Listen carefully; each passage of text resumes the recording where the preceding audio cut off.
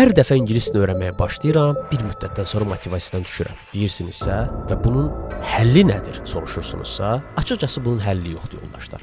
Çünki siz tək deyilsiniz. Mən xatırlayıram, eyni prosesi mən də yaşamışam və bu günləri mindən çox self-study paketlərlə işlədiyim insanlarda da bu necə deyirlər, trendi izləyirəm. Yaxşı, bəs həll yolu yoxdursa bunu nə edəcək? Həll yolu budur əslində. Motivasiyaya güvənməmək. Motivasiya etibarlı dost deyil, heç vaxt olmayacaq. Bəs kimə güvənək? Başqa bir konseptdir. Bunun adı iradə gücüdür.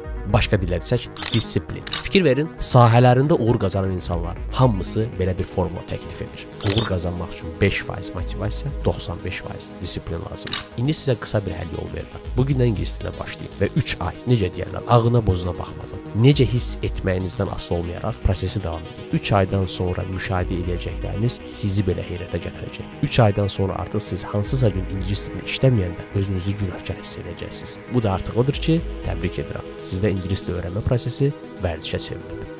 Uğurlar.